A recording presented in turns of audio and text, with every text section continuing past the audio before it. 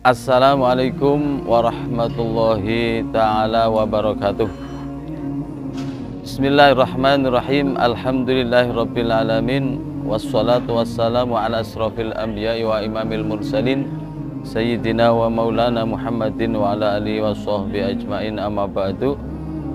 Tidak terasa pada malam hari ini sudah memasuki puasa yang pertama maka dari itu kita haturkan terima kasih dengan ucapan Alhamdulillahirabbil alamin kita diberi kesehatan jasmani dan kesehatan rohani. Semoga kita dapat menjalankan puasa dengan baik dan benar selama satu bulan penuh. Hadirin pemirsa yang dimuliakan Allah, pada kesempatan hari ini malam hari ini kita akan menyampaikan tentang sunnah-sunnah puasa. Sunnah puasa sebetulnya banyak sekali yang akan saya sampaikan kurang lebih 15. Pada kesempatan hari ini akan saya sampaikan 5 saja sunnah-sunnah puasa pada bulan Ramadan kali ini.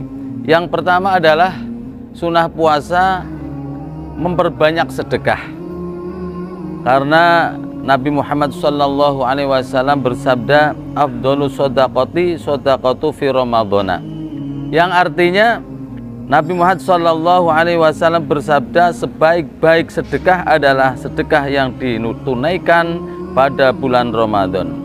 Hadis ini diriwayatkan oleh Tirmidzi dan Abu Hurairah.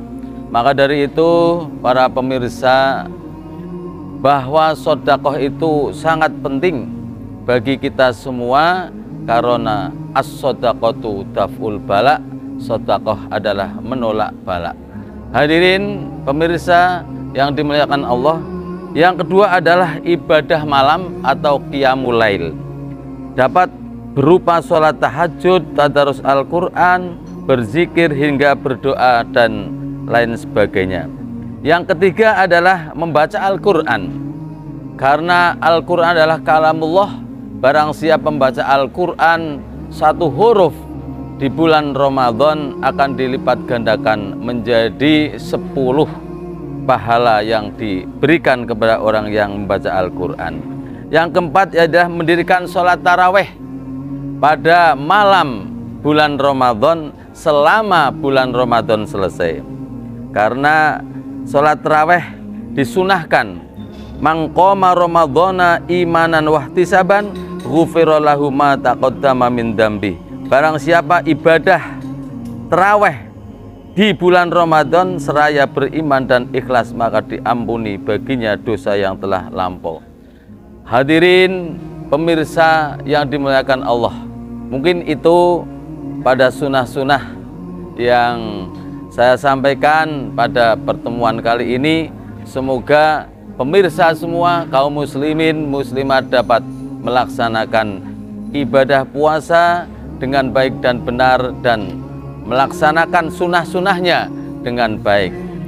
Saya kira cukup sekian saya akhiri wallahul muwafiq ila Assalamualaikum warahmatullahi wabarakatuh.